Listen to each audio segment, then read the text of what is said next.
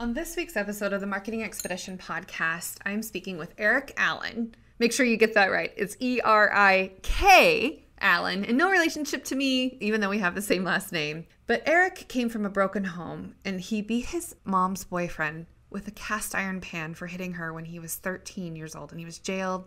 And at 18, he was bankrupt at 21.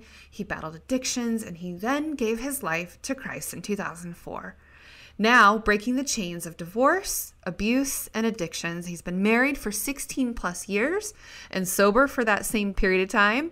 He was the host of two podcasts, and now he hosts The Erik Allen Show with over 350 combined episodes of both podcasts. He had a top rated MMA podcast as well. And he helps MMA fighters and entrepreneurs get known and noticed online.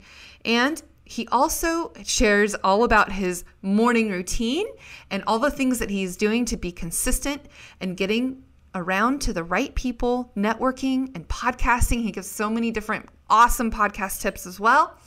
And just has done a lot of wonderful things with this podcast. And you're going to hear more about that and all the special, awesome, interesting people that he's been able to have on his show and how he went about being able to do all of those things. So listen up. But first, we need to talk about Ibotta. It's the app that you get cash back on the groceries that you're already buying or that you want to buy. And all you do is you select the rebates in the Ibotta app and upload your receipt, and then you get cash back. And they actually put it into your account. And then once you receive 20 bucks, you can put it into your PayPal account and get cash back. It's legit. It's awesome. I've been able to use this for a long period of time and I've gotten a lot of cash back over the years. And it is all the different retailers, all the different grocery stores that you can imagine. And even if it's not listed, you can even get rebates on any grocery store that you are working with or you're shopping with, right?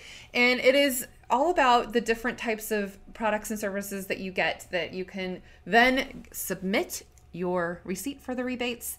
Uh, I use it at Albertsons and Fred Meyer, and um, you can even use it when you get a Lyft ride. Uh, if you need, you know, transportation at Best Buy, Old Navy, all of these different places that you can use to get cash back and get rebates back. And sometimes they even make it to where you can use a coupon in the store and then get cash back. And sometimes you can even get free items. It's pretty cool.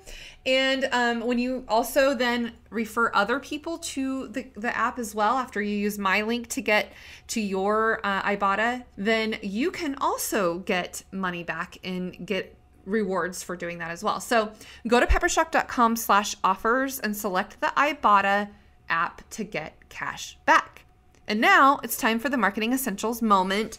And today I wanted to talk about the ability to really enhance your marketing strategy and efforts by using visual content in your marketing. And I know we're talking about podcasts today, but you can also on podcasts use video to put it to YouTube and all the different places as well.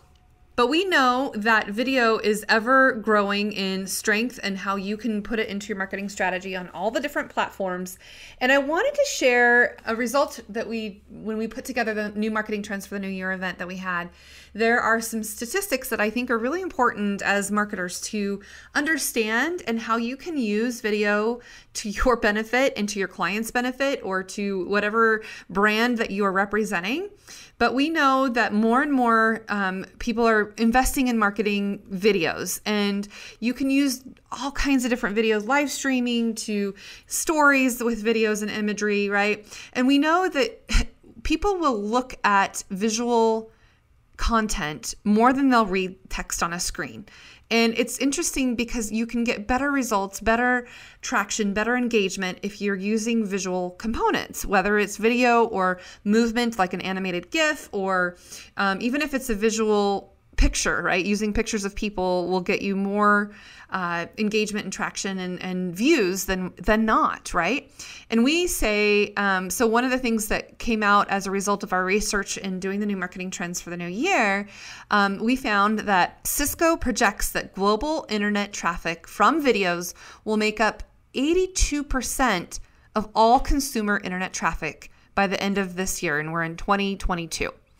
70% of YouTube viewers watch video for help with a problem that they're having with a hobby, study, or job. And that's from Think with Google. Now, if you ha- have ever YouTubed anything, you know, how to videos on anything, then you know what we're talking about, right? Um, and YouTube obviously is the biggest leading source of video content um, globally. So it's at 83%, whereas Facebook is second at 76%, and that's from HubSpot. And video streaming has increased significantly in the past several years. The live streaming platforms Twitch saw a year over year growth of 14.3% and boasted up to 1.64 billion watches, uh, watch hours per month. And that's from eMarketer and The Verge. So you can see that video is completely overtaking what we're doing on the internet.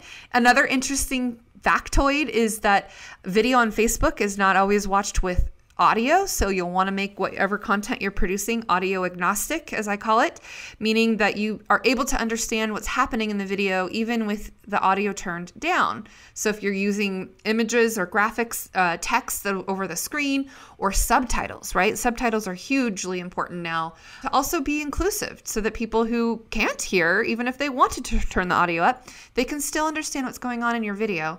And we know that it's increasing. And the other thing that's really starting to increase more too is VR, so virtual reality, right? And augmented reality. And people are using it even more and now it's starting to have marketing opportunities in VR for business and it's the spending on VR for business is expected to reach $9.2 billion. Really, the business use is outpacing its use for leisure. So that's from Finances Online. And a quarter of the VR users believe it has strong potential for brands and marketers, and that's from Global Web Index. And really, I think that the important thing here is to understand, you know, what what you can do as a marketer, how, how you can get your brand in some type of virtual reality or augmented space. And 64% of consumers say that VR has the most potential in gaming, while 52% recognize its potential in film and TV. So, again, it's something that you want to continue to learn more about and strategize on how you would get your product or your service mentioned or endorsed or shown or linked back to when people are going through a virtual reality experience, right? I can just give you a, a personal example. I used EyeBuyDirect to be able to purchase my eyeglasses and I wanted to see what I would look like. And of course, it's all online. So I took a picture of myself. I added it to the app and then I could swap out the glasses as if they were on my face already and what I would look like with those glasses. So uh, I wanted to make sure that the glasses that I purchased weren't going to make my face look too round or, you know, too square and if the color would work and all that kind of thing.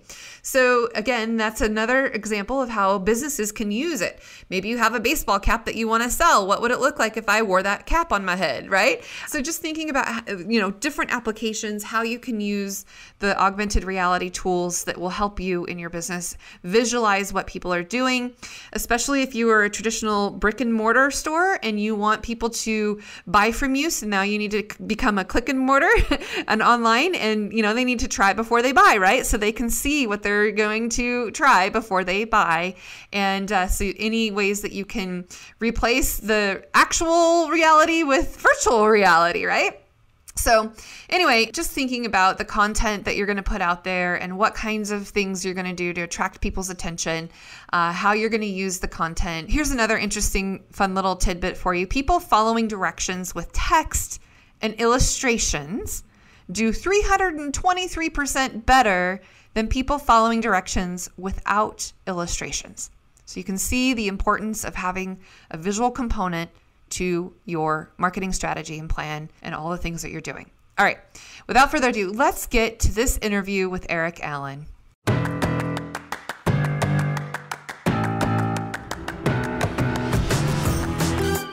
Welcome to the Marketing Expedition Podcast, an auditory journey through the latest in marketing, branding, and advertising.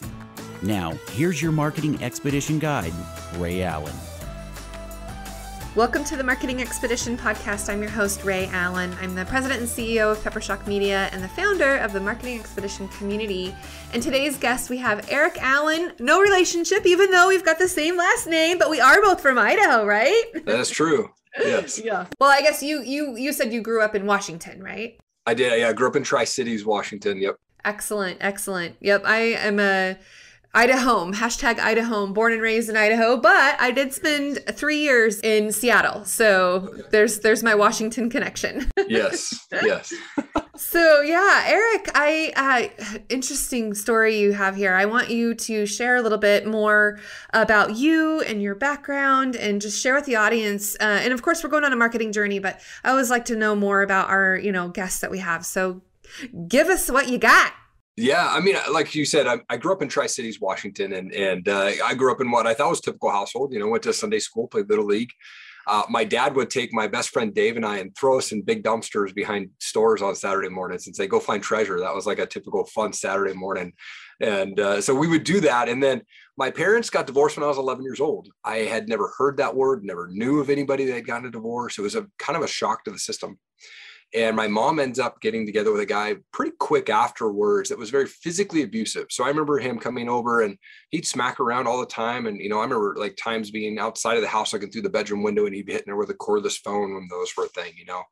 And cops would show up. My mom would never press charges. And then in the middle of my eighth grade year, they decided to move myself, my sister, who's four, four years younger than me, and then they had a baby together who was just a couple months old, uh, to Stevensville, Montana, small town, population maybe 1,200 at the time and it was five acres. They rented this house on these five acres, and it was right in the Bitterroot Valley, beautiful by the Bitterroot River there.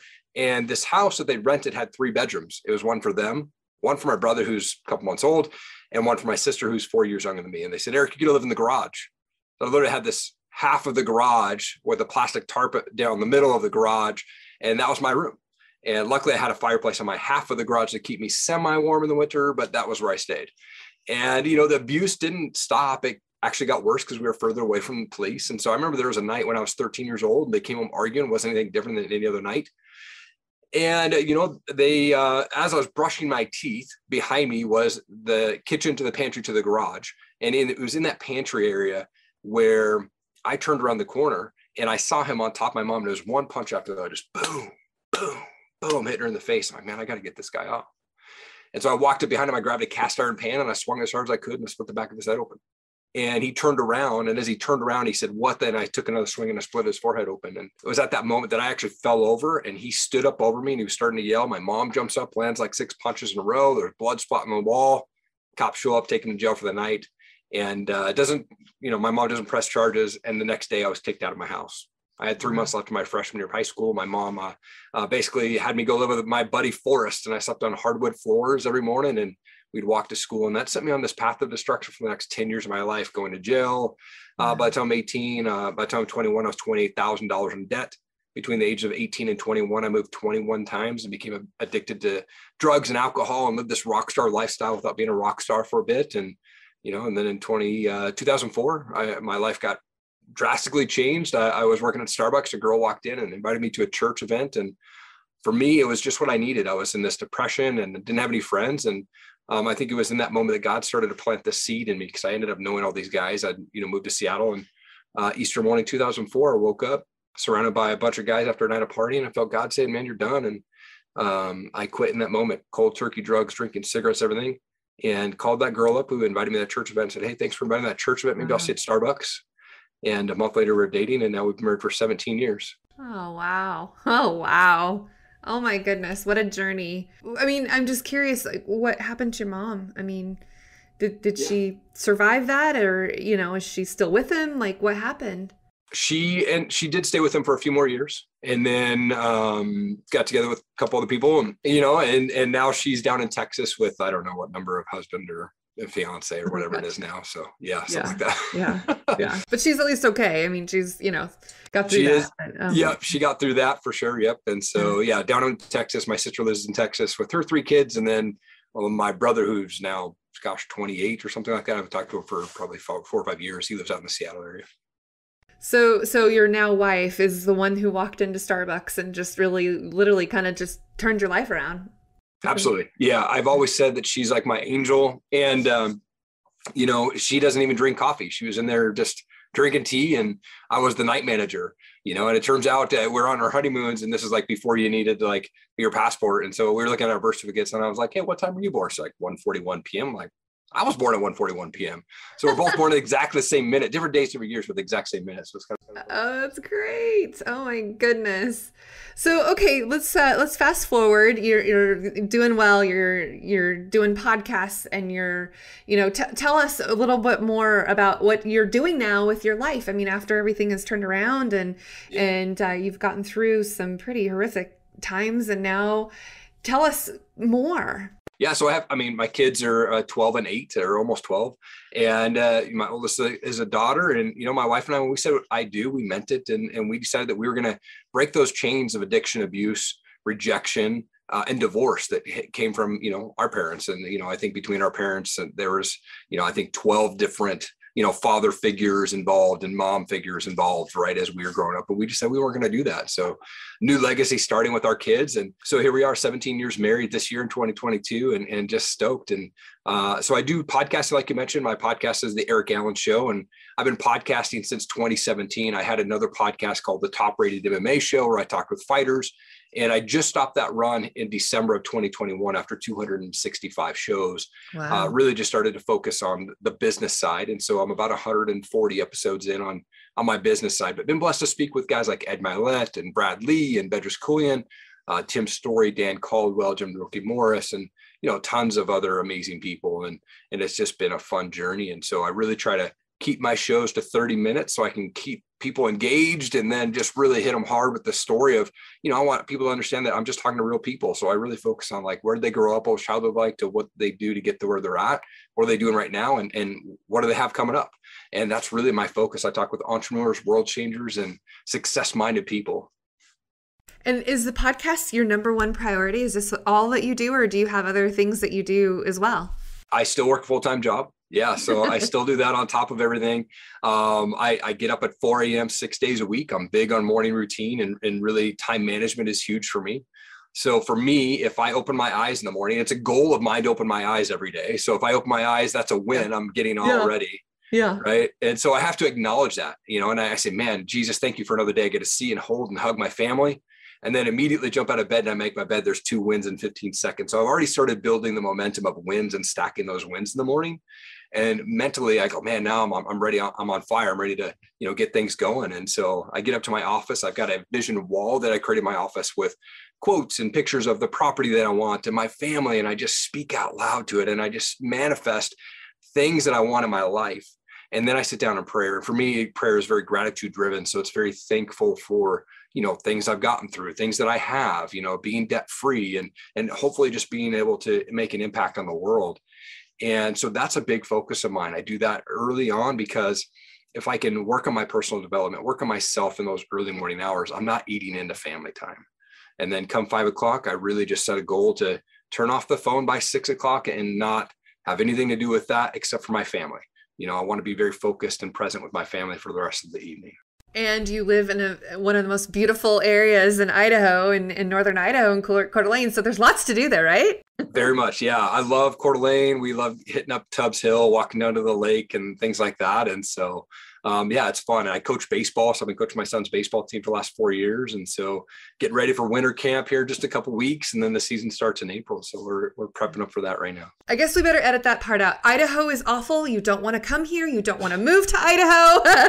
yes, absolutely. Absolutely. yes. Idaho has one of the, one of the top ranked places to live here. And, and I think uh, it has something to do with all the four seasons and just the outdoors and the aspect of being able to have kind of the rural, also big city, you know. So actually, what brought you back to Idaho? Because you were in Washington, right? Yeah, I so I, I grew up in Tri Cities. I moved to yeah. Seattle out of high school, lived there for 15 years, and uh, my wife and I had bought a house in 2006, and the probably the worst time that you could ever buy a house. We thought we were being smart, and we ended up short selling that thing in 2014. We just wanted to change. We wanted out of the rain. We wanted out of the, you know, uh, we both come from crazy families, and so we said if we moved to Idaho, then no one can just show up at our door one day and say, Hey, I was in the neighborhood. And so that was kind of our idea. And we came here not knowing anybody. You know, I had just gotten a, a job, literally like I was flying out of Boise and one guy called me. I left the airport uh, with a taxi. It said, I'm going down. I've got 45 minutes, bud. And then I got to get back on a plane. And that's how we ended up moving to Idaho. Wow, that's awesome. So tell me, because you've you've done podcasts now for even before they became cool because of the pandemic, right? I mean, I I, I can relate to that. I've been doing podcasts for seven years, just off and on, sporadically, and then pandemic hit, and it was like, okay, now we're doing it every week because we've just had so much traction and and people wanting to be on, and and and uh, you know, I'll tell you, I must admit, when the pandemic happened, I thought podcasts were going to decline because people usually listen to them when they're commuting or, you know, they're out and about, whatever. But boy, was the opposite completely true. Even though people were commuting from their couch to their kitchen, they were still listening and absorbing as much content as possible. I want to know from you, having podcasts for for so long, like what are some of the most memorable interviews and moments that you've had, things that you've learned, things that you've done because of this podcaster's life that we have? Yeah, you know, podcasting for me, it was something that I wanted to do just to ask fighters, why do you want to get in a cage and get punched in the face? Like that was why I started. And I had no idea what I was doing. I was in a walk in closet for almost my first 100 episodes. I was literally uploading to YouTube, taking the link and sharing it on Facebook, and that was it. And then somebody said, Well, how do I listen on Apple? And I said, I don't even know what that is like how what do i do? You're yeah. right. And so i started researching like how do i get yeah. my show on apple? And you're right 2020 was like this year where i thought maybe podcasting might take off. I was just a few years in. And in 2021 of january or january 2021 my show actually ended up ranking 102 on the apple us charts for entrepreneurial. Yeah. and then i went on a podcast tour in 2021 where i set a goal to be a guest on 100 podcasts on top of releasing 100 episodes. Uh, ended up on 117 interviews last year and That's it grew, all right yeah you know it was it was all about like getting my name out there and mm-hmm. and and so not only like being consistent but i think my most memorable you know interviews and things like that have been ed mylett for sure uh, when i came across that guy in 2018 i was like oh my gosh this guy's his values everything is li- aligning with me and i really manifested myself uh, to be able to meet him uh, I won the Max Out Challenge in 2018 that he issued on Instagram, which landed me a phone call with him, which changed my life forever. Oh, yeah. And uh, that was I was able to record that and release that. It was episode 12 of my show. You know, so here I just started this brand new uh, business podcast. I'd already talked to Sean Whalen, and then it yeah. was Ed Mylett, and then it just opened up the the doors for Tim Storey was another guy that I really loved talking to. Uh, Jim Morris, the Jim the Rookie Morris, the movie The Rookie is based off him. I've had him on my show twice. Probably one of the coolest guys ever. Uh, Ken Shamrock has been on, and uh, you know Greg Reid is another favorite of mine, and it just the list has been going on and on. And I think I've just been really blessed to, to speak to some truly amazing people. Uh, but I think that those are the ones that really made that big impact on me. So when you went on this podcast to explain to people who aren't familiar with that, I mean, yeah. did you physically go places or did you just mean that you were on other people's shows across the country or world even? Yeah, both. So uh, if I could go locally, then I would. Um, one of the shows I flew down to Las Vegas and I was on Brad Lea's podcast last year. Uh, you know, and then I, I, was on some local podcasts here in Coeur d'Alene area, but the majority of them were just online. I think there might have been three days or four days, maybe last year that I was not on a podcast.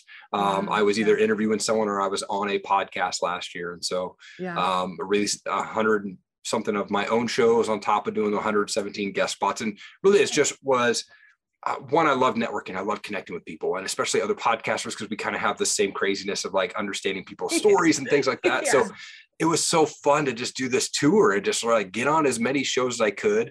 And I got to see how people do things. Oh man, I want to do that on my show. I want to implement that, you know. And then there were some shows where I was on where I was like, oh my gosh, I would never do that, right? Um, but it was just this fun engagement of just getting to new, getting to uh, meet and know just a ton of people from all over the world. Right, right.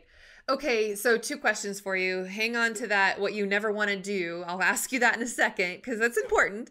But first, before we move away from the podcast tour, what advice do you have to others who would want to get on other people's podcasts? Like, I know you got on to mine, which is great, but how do you get on a hundred other podcasts out there? You have to be consistent. Um, and people think you have to be some big guru to be on guests or be on podcasts, right? And you have to be this millionaire guy and have some crazy story. And you really don't because see, we're all passionate about something in life, whether that's reading or art or you know, sewing or podcasting, whatever it is. And there's so many groups on Facebook that you could just literally search in their podcast groups and and post in there, hey, here's what I'm passionate about. I'd love to be a guest on your show. And you'll probably have 10, 15 people respond to that saying, Hey, I would love to have you on my show because there's other people that have that same passion that are doing podcasting. And so that's really the best way to get your name out there, I think, and not only market your own show, but you get to meet cool people. And then other people that heard me as a guest on other shows then reach out to me and said, I heard you on this show. I want you on my show. And so it just continued to grow. Uh, so I think if, if you want to get your story out there, and I'm 42, I didn't share my story till I was 39 years old. I held on to that. And I think if if you're strong enough to be able to share your story of whatever it is that you're passionate about, right. I think that will connect with somebody out there. And there probably could be a podcaster, and that could that could open up tons of doors. And I mean, podcasting has opened up a, a ton of doors, um, amazing relationships. You know, they got me trips. You know, I mean, it's just been an awesome journey. Absolutely.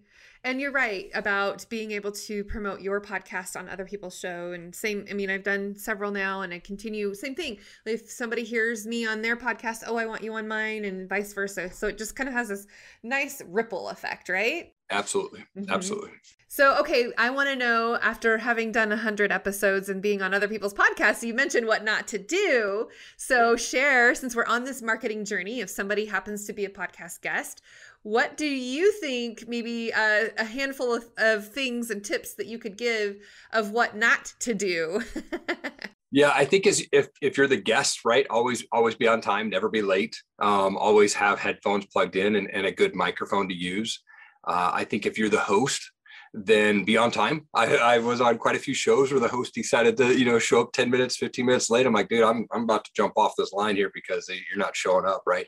Uh, so I think uh, you know things not to do as as a podcast host is you know uh, don't be late uh, i think it's always professional to actually get the person's name right uh, that you're talking to uh, that happened a couple times um, also spelling their name correctly when they go to release the show uh, very important. I, I, think probably four or five shows that I was on last year released uh, my name on their podcast with that E R I C, and I was like, uh, dude, that's not how I spell my name, you know. and it's like it you don't want to be the pain in the butt and go, hey, can you fix that? But it's like that's promoting somebody else. That's not me. And so, yeah, you know, I think uh, you definitely want to make sure that you get stuff correct. Well, especially since our last name is Allen, both of us. Yes. Everybody, I mean, you have that all, yeah. So a different Eric Allen, if it's not spelled right, I could absolutely see how it's, you know, not going to tag correctly or anything. And, and, and, my name too, like R H E A, no one can spell that right. So you're right. Uh, and that might take me all the way back to high school because there was a kid that was a year behind me that his name was also Eric Allen, but it was spelled with a C and yeah. him and I would get called into the principal's office for other people, you know, for doing each other's bad, like you know, skipping class, right? And I'd be like, no, no, it's not me. That's the other Eric Allen. And I'd have to go get the other guy, right? So like, I think it all it's like this memory that goes back to high school for me. Yeah, yeah. Oh, that's funny. The Eric with the C, he's trouble. totally, totally. yeah. So okay, what else? What are some other things that you picked up along the way that would be helpful to our audience as well? Yeah, I think being consistent. If you're a podcast host, be consistent. There's a lot of people that like to start podcasts and you know i don't know what the the the actual statistic is but i've heard that like you know 95 98% of podcasters never make it to episode 100 and even more than that like don't even make it to episode 50 and so i think if you're a podcaster or you want to start a podcast just get consistent with it you know, just pick a date and start releasing every Friday at 7 a.m. like I do, right? Or, or pick a date that works best for you, you know. Um, and I think those are those things that help you be successful as a podcaster because people start to rely on that time. You start to put out your show at the same time over and over, and then they're going to look forward to it. You know, like mm-hmm. every Friday, Erik's dropping his new show at 7 a.m. and it used to come out at nine, and I just changed it. So after two years, I know I, I changed the time because I went back to a solo show instead of doing two. So that was the one change that I did. Mm-hmm. But I think being consistent is is really big with it when it comes to podcasting. What what day do you say you release yours? Fridays at 7 a.m. Pacific. Okay. It's interesting how yeah, we've played around with different time frames to see which consistently, you know, in our category people listen to and it's interesting to see the differences in different areas and where you're at and you know what people in marketing do versus you know a golf show or you know so that's definitely a, a good tip to like understand when your podcast is going to get the most downloads at what time of day what day of the week all of those things right Yep. And I think one other thing I'd throw out there too is if if you are a podcaster and you're trying to book guests on your show, uh, never send a templated email message. Uh, you know, like where you're just changing the first name, but you have the rest of it like already pre-printed. Uh, like, you know, inviting someone to your show, I think for me, it should be personalized. And so that's the way that I book all my guests. I literally book 99% of my guests through Instagram DM. And what I do is I literally pull out my phone and I do a 30 second video. That's it, 30 seconds. Don't don't go longer. And I literally just talk right into the camera and uh, whoever I'm speaking to. Hey Ed, it's Erik. I'm out in Coeur d'Alene. I saw you just release your notebook. Let's get you on the podcast. Promote that thing. Let's make it happen. We'll talk soon, man. Thanks. 30 seconds. I send it via DM. I don't send any text. I just sent a video. And 98% of my guests, 99% of my guests have been booked through Instagram DM that way. That. Yeah, and it's quick and simple and easy, and you don't have to sit there and try to text it all out. And yeah, video play. And I'm starting to get a lot more voice messages through Facebook Messenger. Are you noticing that too? Where people uh, I do get some of those. Mm-hmm. Yeah, I, mm-hmm. I yeah and probably is lack of my knowledge around the technology of just doing vo- voice stuff um, mm-hmm. because I'll try to like I've tried to do it before and then I run out of time because I'm a mm. talker, right? Mm-hmm. And so I'm like, I, and when I do the 30 second videos, I usually don't get it in the first four or five takes, right? Yeah. Like I'll just usually I'm like, oh crap, I went over or I didn't get my message in time, so I have to redo it. I'm glad I'm not the only one who has to redo that. yeah, I mean, and so that's that's a big thing for me is is you know I just have to make sure that it's right and I think uh, maybe I'm I'm almost worst I'm my own worst critic right so I want to make sure that it, it sounds perfect and I'm promoting them and you know honoring them in that pitch and not sounding like hey just come on my show just so you can come on my show like I really genuinely want to help them out yeah. you know and so that's a, that's a big thing that I think has helped me uh, book the guests that I have been able to book. Okay, so what are some podcasts aside from, of course, the Marketing Expedition podcast and your own podcast that you listen yeah. to? What what's something that you really enjoy listening to that uh, you think others should listen to as well, in addition to ours, of course? uh, absolutely, absolutely. You know, I'm a big fan of Ed Mylett. His show, I think it drops every Tuesday. But I dropped a new one this morning. Um, so, big fan of Ed Mylett. Big fan of Tony Robbins. And so anytime that he's on a show, I I have to go listen to it. So Ed Mylett, uh, Tony Robbins, Inky Johnson's got his own podcast. I love Inky Johnson. Um, Lewis Howes got a great show. Uh, and so those guys are the shows that I really rotate in and, and, and listen to those guys. Eric Thomas is another guy that I love to listen to. Um, you know, those guys, I could sit there in the morning while I'm making breakfast for my kids and, and have like, you know, while they're still sleeping, because I get up super mm-hmm. early and I'm doing that. But while I'm, you know, cooking breakfast and they're still sleeping, I have one of their shows on or, or an yeah. interview maybe that they did. Those are the guys that really make that impact on me. So do you mostly just listen to books or do you read books? Ah, that's a great question. I do not have a, an account for Audible, so I read a lot of books. I, I didn't read as many as I wanted to in 2021, but this year I really set a, a goal to Good. to finish as many books I can. And I think I'm on my third book already for the month or for the year. So yeah, I'm excited. Good. What are you currently reading? I am reading a book. Uh, actually, I have it right here. Sorry, it's called The Self Esteem Regime, and it's actually by Clarissa Burt. Um, I met Clarissa just a couple weeks back uh, down in July, uh, or excuse me, uh, a few weeks back, mid January. I was at a conference called Prosperity Camp by Greg Reid, and she was there. And she hmm most people may not know the name. I didn't know the name until I met her in person, got to chat with her, but she was actually the main queen in the movie Neverending Story. Uh, so she, that was her, and she's a super former supermodel and Italian actress and things like that. I know who you're talking about. As soon as you said that, I mean, uh, yeah, that's great. yeah, so she's super cool. Yeah. Uh, I'm actually going to be talking with her on my show here this week. Uh, oh, so super stoked to have her on. So it'll her episode won't drop for uh, probably a month and a half or two months, but yeah. Uh, really stoked to have her on the show. Great, that's great. So, just a couple more questions for you. Where do you see kind of the next, you know, six months, five years, 10 years? Like, what are your aspirations? What do you want to see happen with the show, with where you're at now, and what you're doing? I'm going to continue to do the the podcast. I really see myself really, um, continuing to just put this out weekly. And mm-hmm. you know, like I said, I work full time, but my goal is is to be a full time entrepreneur. And so I work right now, even with brands. They'll send me their products, and I do content videos for them, how to box openings, explainer videos. Nice. Uh, so I do that with a lot of brands. I work with a lot of brands on the sponsorship of my show.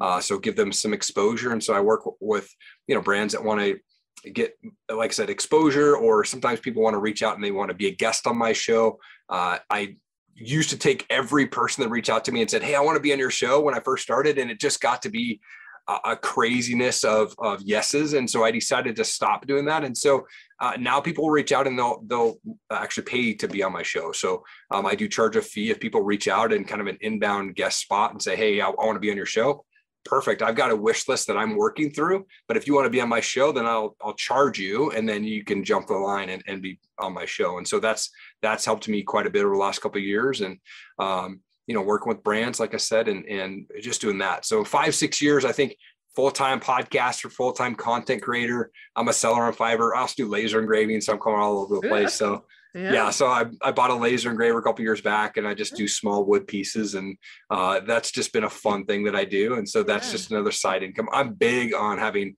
you know, seven plus in streams, income streams, right? Yeah, yeah. No, that's great. So Erik, tell me when you first were able to get a sponsor for your show, what was it like? Did you reach out to them? Did they reach out to you? How did you know what to charge? All of that good little nuggets there that other people may need to understand so that they can do the same.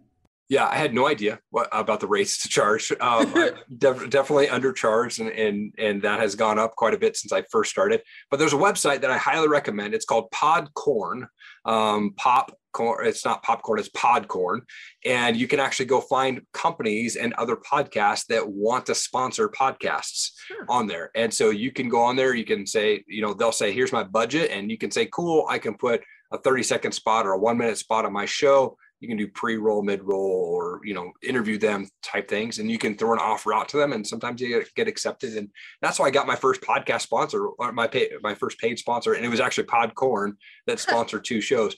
Um, Nice. And so I thought, well, if, if I can get those guys, then I can probably get yeah. some other brands. And so I just started, you know, really, like I said, being consistent and I would catch the attention of other brands. And so a lot of my sponsors have reached out to me through Instagram.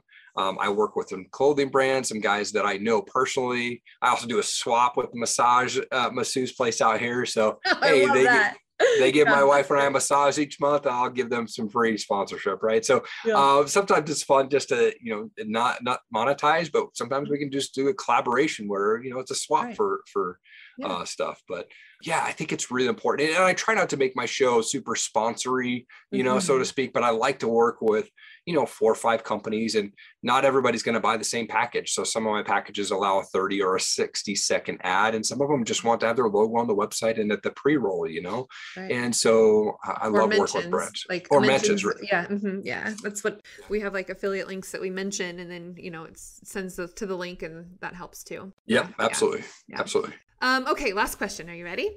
Yeah, absolutely. Fun, fame, or fortune? What would you choose if you could only pick one? Fun for me. You know, awesome. I, I think fortune is something that will fade and fame is fake for the most part you know and i think for me i just i'm all about fun man i like i like playing games with my kids and I love just going out on adventures. And you know what? I'm cool with living in a trailer on property for the rest of my life. I haven't convinced my wife that, but that's something that I would enjoy doing is just living on the trailer and having, you know, 40 acres, right? But I haven't convinced her to do that yet.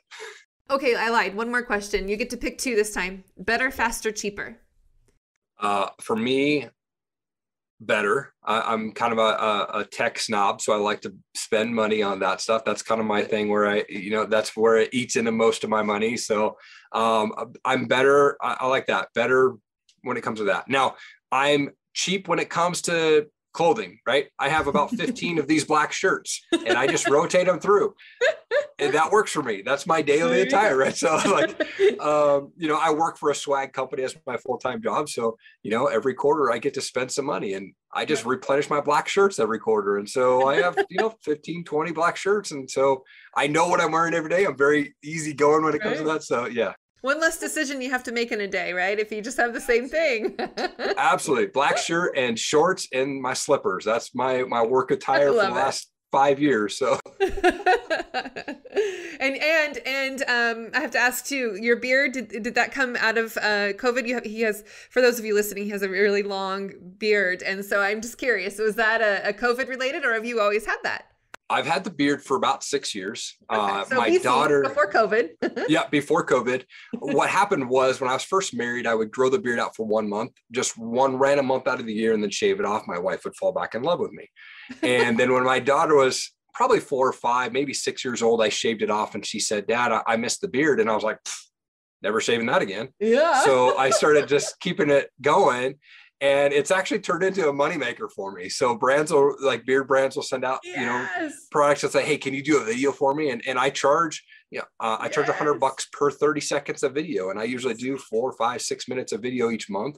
And so what happens is they send me this stuff and then they'll go and post it on Amazon. My wife will get a random text from her friend saying, Hey, I was shopping for my husband and I saw your husband on Amazon. So my wife jokes and says, You're Amazon famous. So I'm somewhere out there on Amazon. so you got a little fame going on there too. Fun, fame, and fortune. I love it. Well, thank you so much, Erik. Any last things that you'd like uh, anybody to know about, or how to reach you, or anything? You know, plug your show. Just share kind of your last thoughts here. Oh, thank you. Yeah, Erik Allen Media. It's E R I K. You can hire me for speaking, laser engraving, video content, co- you know, creation. My podcast is just the Erik Allen Show. It drops every Friday at 7 a.m. on all video and audio formats. And uh, two things that I just love to be able to mention is one, I think the world would be a better place if we all just quit watching the news. And two, if we just like stop judging people, just love people where they're at. You know, I think for me, like it doesn't matter who you voted for, or what your stance is on vaccination or whatever. I just want to love you where you're at. And so I think if if people could just love people where they're at and turn off the news, man, the world would be a way better place. Thank you, Erik. Really appreciate you. And for those of you listening, you know, the best thing that you can do for both of us is to give us reviews on our podcasts on both of us and then, you know, share it with others. If you feel like you've gotten value from this and, and also listening to Erik's show too, share it with others. That's like the best compliment as podcasters that we can get, right, Erik? Absolutely. Absolutely. yeah. All right. Until next time, everybody, enjoy the journey. Thanks for listening to the Marketing Expedition podcast. Want to continue the journey? Don't miss out on new episodes. Subscribe on iTunes, Spotify, Amazon Music, or wherever you get your podcasts.